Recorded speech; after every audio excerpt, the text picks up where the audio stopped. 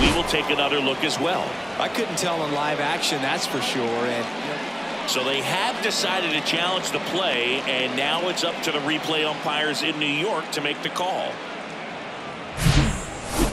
Another look at it. Singer, are you seeing enough to change the call? Yeah, I think so, Boog. I mean, it's close, but I think after looking at it a few times, we can see that this guy's probably out and could be a good use of the challenge right here.